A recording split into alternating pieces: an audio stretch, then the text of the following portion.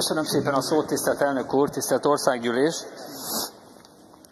Én szeretnék más irányból is rávilágítani a digitális fejlesztések eh, jelenlegi árnyoldalára. A pénzügyi ágazat szereplői az élet minden területén egyre nagyobb mértékben támaszkodnak a digitális technológiákra, de ez eh, nem okozhat hátrányt a lakosság számára felhasználhatósági szinten.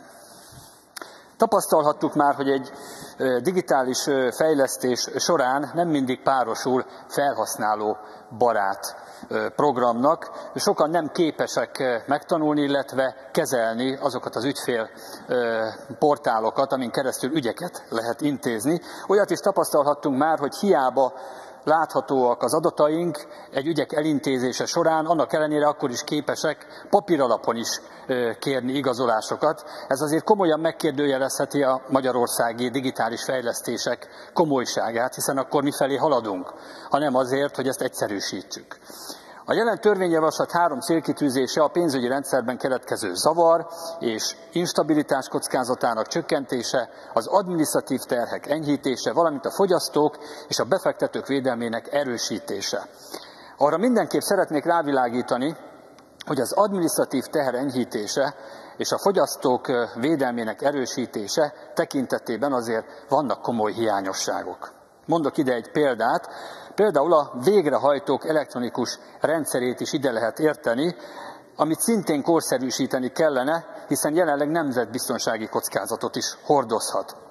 Például 2017-ben a Magyar Bírósági Végrehajtói Kar gigamértékű szerződést kötött, hogy új szoftvert fejlesztenek a végrehajtók ügykezeléséhez. A 3,7 milliárd forintos szerződés azonban nem jött létre, és a végrehajtók meg mindig a régi, elavult és sebezhető rendszert alkalmazzák, és ennek használatára kötelezik az adósokat is.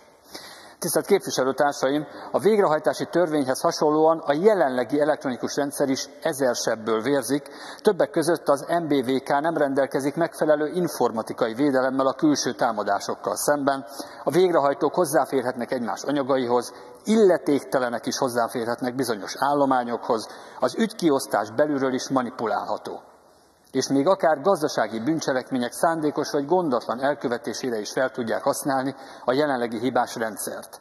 Tehát amíg ezek nincsenek kijavítva, addig eléggé megkérdőjelezhetőek ezek a digitális fejlesztési szándékok. Nagyon régóta probléma, hogy nincs egy központi elérhető felület például az adós számára, ahol láthatná az ellene folyó eljárásokat, azokat is, amelyek nincsenek végrehajtás alatt.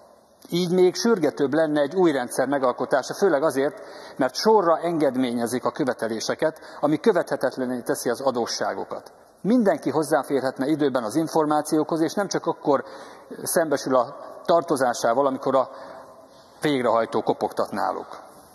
A mi hazánk mozgalom a végrehajtás előszobáját is igazságossá és átláthatóvá tenni, éppen ezért követeljük, hogy legyen egy központi nyilvántartás az adósságokról, akár az ügyfélkapun rendszerén belül.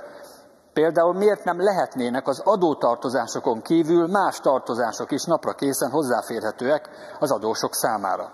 Sürgős változásra van szükség tehát annak érdekében, hogy az adósok adatai biztonságban legyenek, és legyenek hozzáférhetőek számukra, hogy fel tudjanak készülni a velük szemben olykor, és legtöbb esetben, amelyik már 10-10 pár éves tartozásról értesi, küldött értesítők esetében ennek a komolyságát is elég komolyan felül kellene vizsgálni. Ezek a digitális fejlesztések, ha ebbe az irányba megtörténnének, akkor nyilván ezt is sokkal jobban tudnának kezelni, tudnák kezelni az emberek. Én csak ebből az irányból szerettem volna rávilágítani ennek a törvényjavaslatnak a komolyságára vagy nem. Míg ezek nincsenek megoldva, addig nincs miről beszélni, és ahogy Apát István képviselőtársam is mondta, így nem tudjuk támogatni ezt a törvényjavaslatot. Köszönöm.